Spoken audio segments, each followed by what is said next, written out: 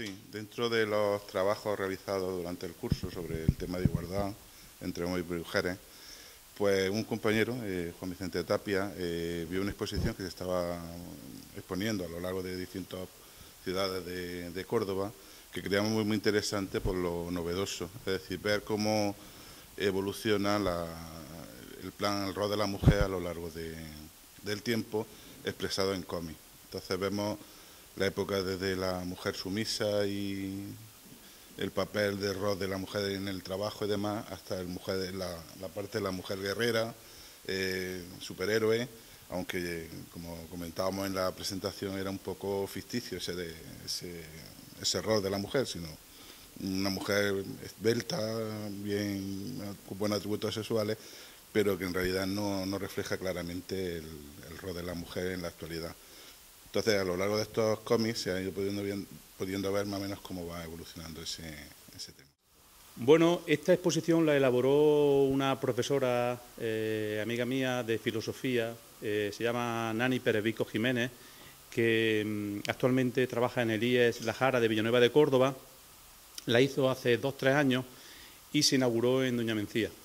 Y, y, a raíz de ahí pues ha estado expuesta en distintos institutos de la provincia de Córdoba y de Málaga. Entonces yo pensé que como profesor de instituto no se podía perder la oportunidad de traerla aquí porque a través de la misma, de una forma fácil de ver, de, entender, puede motivar la reflexión de los jóvenes sobre un tema tan importante actualmente como el tema de la, igualdad. Entonces, pues hablé con mi compañera para, que nos la cediera y la pudiéramos traer aquí al centro.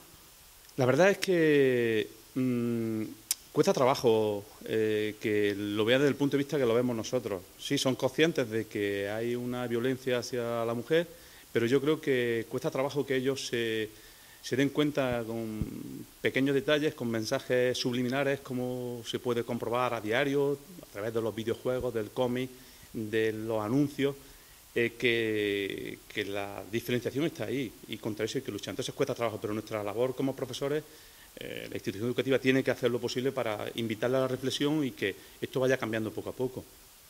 ¿Cuánto tiempo va a estar la exposición? La exposición va a estar una semana, hasta el viernes. Hay un calendario de, visitas eh, que coordina Toñi, una compañera, y van a ir pasando los alumnos de, ESO y bachillerato y de ciclos formativos por aquí, por la biblioteca, eh, con su tutor. De hecho, de hecho eh, durante unas semanas antes al día de hoy, el material ha estado disponible para los tutores con objeto de que cada uno calibrara la posibilidad de, de trabajar en clase distintos ámbitos, distintas actividades, lo que iban a ver aquí. Entonces, cada uno de los profesores ha ido teniendo la oportunidad de preparar actividades previas o posteriores a la visita. No se va a quedar exclusivamente en pasar por aquí y verlos comer, uy, qué bien, qué bonito, sino que van a tener que hacer cada uno pues un trabajo en grupo, individualmente, en función de las exigencias de cada asignatura.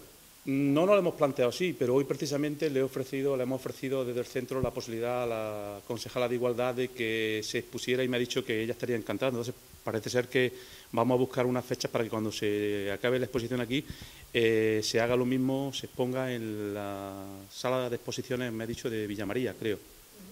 Entonces, nosotros encantados de cederla porque el mensaje sigue teniendo vigencia aquí y fuera de, de educativo, como es lógico.